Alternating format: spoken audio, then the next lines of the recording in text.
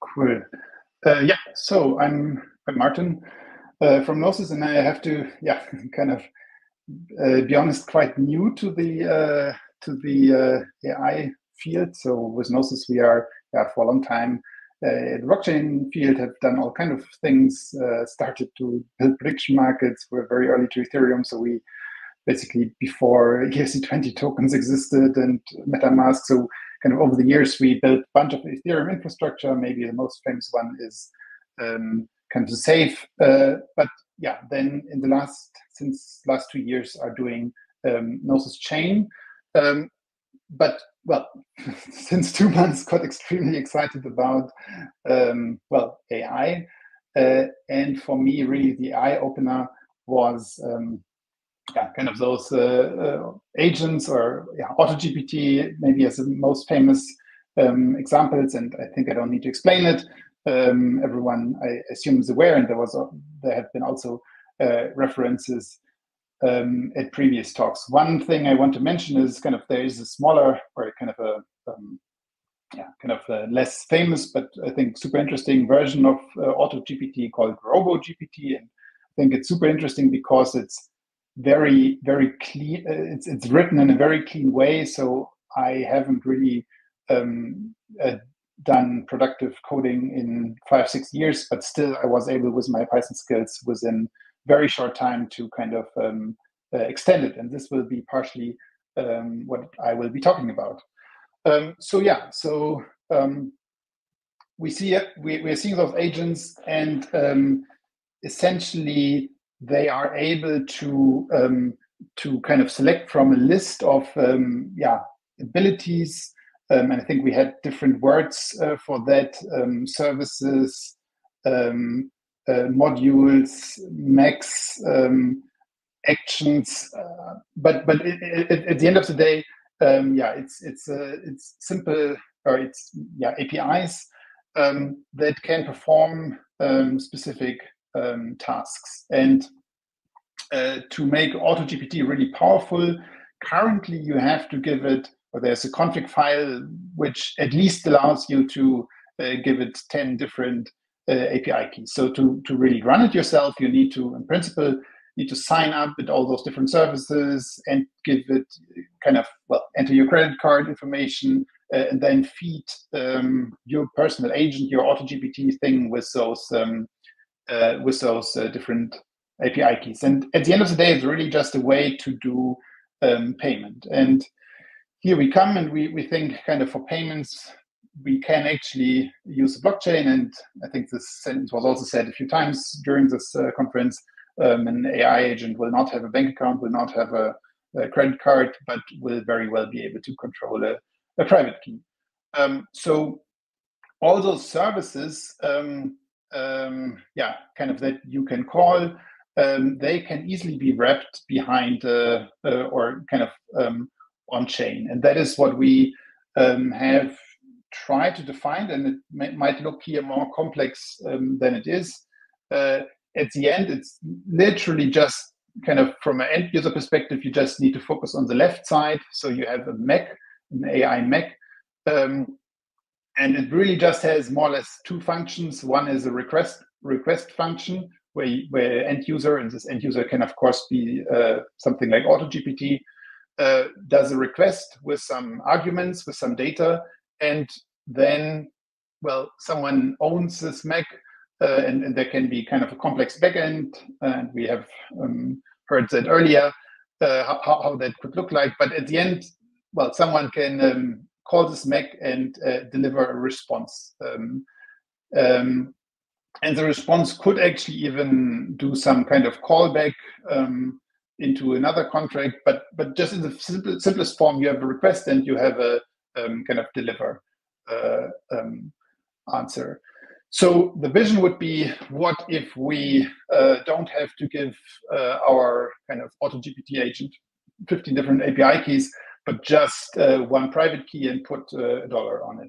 Uh, and then it's able to, um, um, yeah, kind of to make those calls. And yeah, quite quite happy that we were able, um, yeah, with a bunch of people uh, on the call just in the last weeks to, yeah, essentially hack that together and have that um, live running um, as a prototype. And I'm showing you here a little bit, a um, little bit, uh, yeah, bit of code out of those, uh, of this, yeah, in this case, this, is Robo GPT. So you can see here is a list of actions. Um, and again, it's super it's super amazing how simply you can uh, how simple you can add new action. All you need to do is really just have a textual description of that action and have minimal information of uh, kind of what input format um, this action um, does, and then kind of yeah, the LLM does the magic of kind of running through this loop where it's trying to plan a task and essentially pick from um, those actions. But again, in this case, we added a new action, um, this draw image thing. And here again, instead of using, instead of requiring a new uh, API key, we just said, okay, we are for this one, we are calling this, um, we are calling this um, uh, this AI Mech.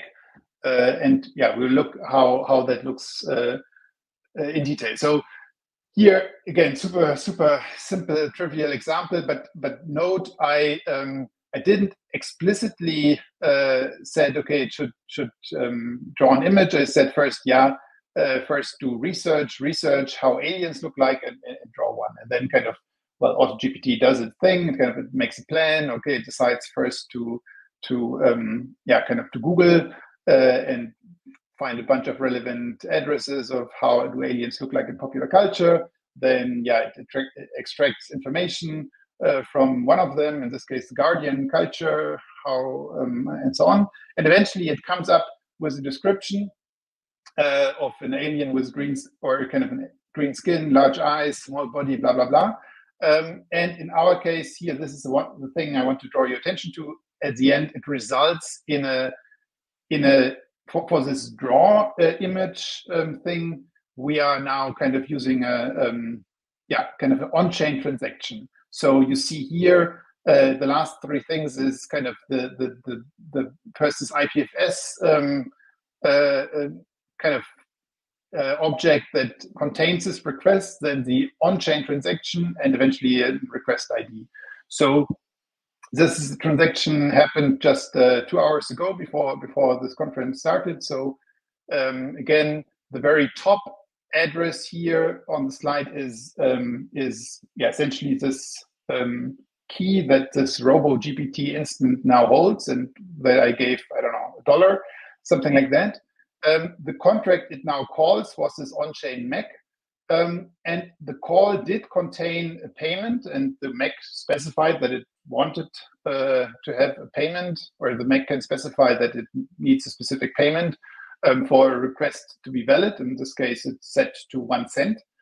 Um, so yeah, the, the, the, one cent payment is part of that uh, request. And then eventually um, the request uh, contains um, data, but not the data directly because that yeah, doesn't scale, scale, uh, scale all that well. But so instead, uh, I mean, in this case, it would even be possible to put the data directly on chain. But uh, in, in this case, the um, uh, the data is an IPFS uh, or kind of an IPFS um, yeah link or, or kind of um, yeah IPFS hash, and that IPFS hash then has this specific um, yeah kind of content here. And then in the next step, um, uh, and, and, this is also kind of what RoboGPT then can do is kind of listen for for the response or listen for the response event on chain, uh, and eventually, yeah, kind of gets this nice um, um, picture drawn. Um, the amazing part here is that the the code to do that, um, yeah, was extremely simple to to write. So this is literally all uh, all kind of I had to add.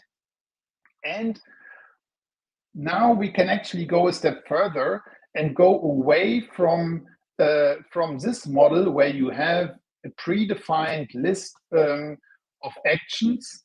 Uh, instead, we can now start our um, uh, our program by querying this registry um, on chain where kind of those mechs are registered and, and all they need is kind of such a simple textual description of their own service.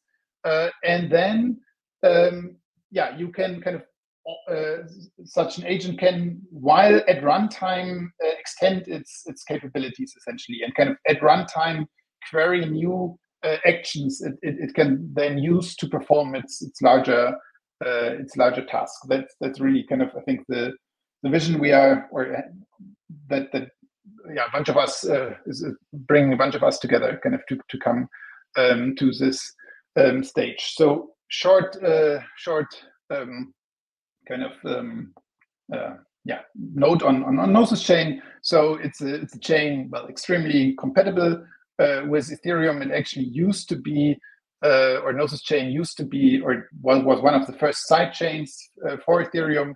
Initially, it was called XDAI, and um, a little bit or roughly one and a half year ago, we kind of merged merged tokens and kind of turned it somewhat into Gnosis chain.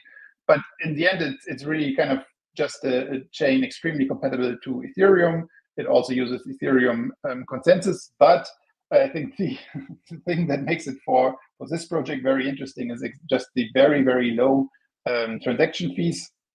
And maybe also the fact that the base token uh, is XDAI, so essentially just DAI bridged, um, or well, DAI, therefore kind of dollar bridged from, from mainnet Ethereum. Um, uh, so yeah, it's, it's, very very easy to do a payment. And again, in, in this example uh, that I showed you, I, I, well, the transaction just contained a one cent payment, and the transaction fees was just um, a fraction of that. And maybe as an outlook, that works for now uh, quite well. Um, uh, and but but eventually we can also kind of go to layer twos. Um, so yeah, we hope Gnosis Chain can become a place for those AI agents. And yeah, kind of once we have this permissionless registry, yeah, we want to kind of discover those actions. We want to do the communication, the payment. We want to have maybe then things like uh, arbitration or rating of those um, of those actions. Um, I'm uh, today already get warnings uh, about time.